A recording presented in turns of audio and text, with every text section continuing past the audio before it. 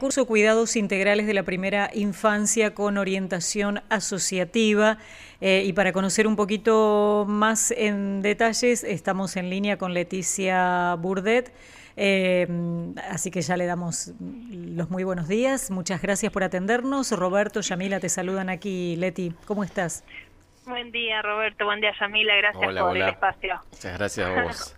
bueno, eh, es hoy y mañana la inscripción, 11 y 12. Sí. Claro, reabrimos la inscripción. Esta, este, curso, bueno, se lanzó en agosto de este año. Eh, es un curso que, que, bueno, lo promueve la Universidad de Chubut y que es un proyecto que se presentó al CFI, que es para, para bueno, este curso que está destinado al cuidado integral de las infancias. Y, y bueno, eh, como hubo mucha gente que quedó fuera de, por ahí de la inscripción esa, digamos, formal y seguían este, consultando, reabrimos en este espacio estos días para que se puedan sumar y que están a tiempo de poder eh, recorrer todo el trayecto y, poder eh, transitar todo el curso, ¿no? ¿Y quiénes lo pueden hacer, eh, Leti? Bien, el curso está destinado no es solamente para, para las habitantes del Hoyo, sino que las vecinas localidades de Lago Pueblo, de Bolsón, eh, que están cerca, digamos, de, la localidad y que tienen la posibilidad de movilizarse hasta allí se pueden anotar, mayores de 18 años. Em, y bueno, el curso está destinado a adquirir conocimientos eh, para el cuidado integral de las infancias, eh, digamos, desde bebés, niños pequeños hasta los 5 o 6 años. El proyecto tiene el objetivo de varios objetivos, ¿no? Por un lado, poner en valor la tarea de cuidados de las infancias, porque sabemos que muchas personas se dedican, así como eh, al cuidado de personas adultas, eh, al cuidado de, niños, ¿no? Quizás por ahí de manera informal, porque bueno, lo van haciendo como, como un sustento así, eh, que está bueno, muy, muy naturalizado, algún vecino o vecina que cuida, pero que no está puesto en valor esa tarea y que es muy importante, Fundamental, claro.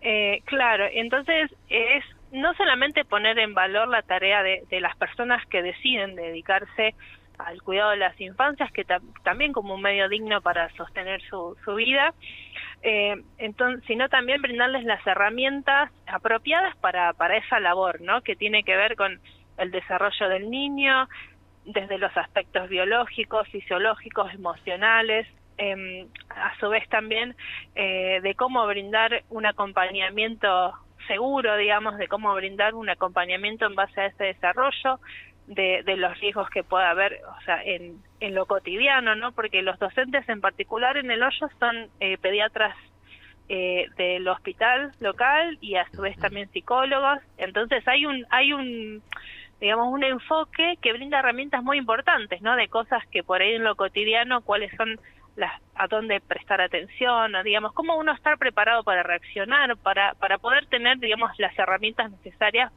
para uno estar tranquilo y para brindar tranquilidad a las familias quienes nos dejan al cuidado a, sus niños, ¿no? Qué fundamental para los padres saber que eh, justamente la persona que te va a cuidar a los chicos, mientras vos estás trabajando o en otra actividad, está capacitada para eso está prestando atención a todo esto que vos decís. Los chicos obviamente se nos golpean, se pueden lastimar, eh, pero saber actuar en situaciones de emergencia, en situaciones que por ahí pueden generar preocupación, eh, digamos, es poner en valor eh, el, el, trabajo. incluso a la hora de, de negociar el contrato, ¿no? Tal cual.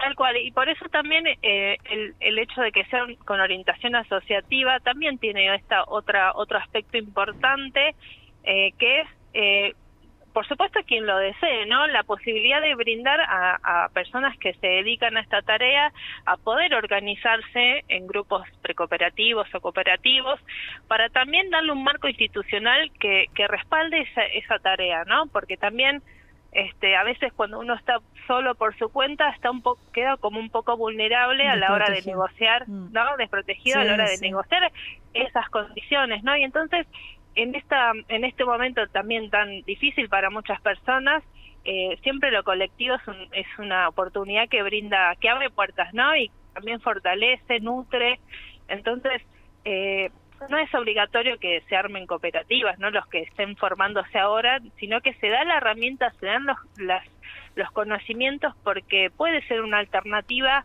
interesante para la zona em, y que a su vez abre oportunidades, ¿no? Porque ya los los los, eh, los pone en otro lugar a las personas que decían agruparse con posibilidades de generar eh, digamos servicios en la localidad digamos que, que bueno con, un sustento como es el, cooperativismo no eh, Leticia qué modalidad tiene la cursada bueno la cursada tiene es un poco intensiva porque está digamos en pocos meses pero bueno tiene es semipresencial no tiene una cursada semanal de, de cuatro horas presencial y una cursada virtual de tres horas.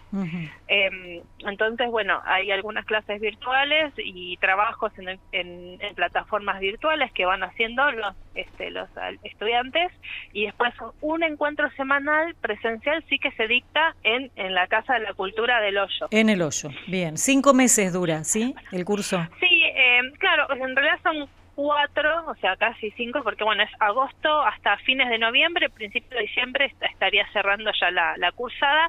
Y bueno, van a realizar prácticas también ya en unos espacios, eh, digamos, de cuidados de infancias que estamos ahí coordinando eh, que van a, bueno a darle esta certificación no a, las personas que realizan el curso no em, y la inscripción es presencial o pueden llamar se puede hacer en forma virtual pueden llamar eh, a Cultura, dejar los datos que les van a pedir eh, o se pueden acercar. Y a las personas que se inscriben, bueno, yo las voy a estar contactando para, bueno, explicarles todo, eh, las cursadas, los días de cursada y demás, para que puedan, este, bueno, decidir si, si pueden si pueden este, hacer, avanzar o no, claro, ¿no? Porque, bueno, entendemos también las realidades de trabajo y, y muchos estudian, entonces... Eh, pero bueno, pueden hacerlo vía telefónica, ahí a Cultura o acercarse. Las dos opciones. Ahí dejan sus datos que les van a solicitar y los vamos a estar contactando desde la parte de la coordinación del curso. Leticia, ¿y tiene costo? No, el curso es totalmente gratuito y, y, bueno, y como te digo, certificado por la Universidad de Chubut, así que es un título inclusive que da puntaje docente, o sea, es un título que, que es eh, reconocido y las personas que lo hagan, bueno, va a ser muy muy importante para ellas para sumar a, esta tarea que se que dedican, ¿no? Buenísimo, repetimos, hoy y mañana la inscripción entonces de 9 a 18 en horario corrido.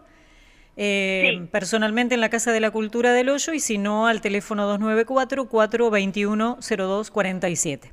Claro, así es. Esta hasta mañana porque, bueno, para que puedan ponerse al día y ya comenzar a cursar a partir de esta semana, que es el jueves, viernes las cursadas, bueno, que ya se puedan este, sumar y, bueno, y no les sea complicado después, digamos, ¿no? Perfecto. Y gratis, gratuito. Y Educación gratuita.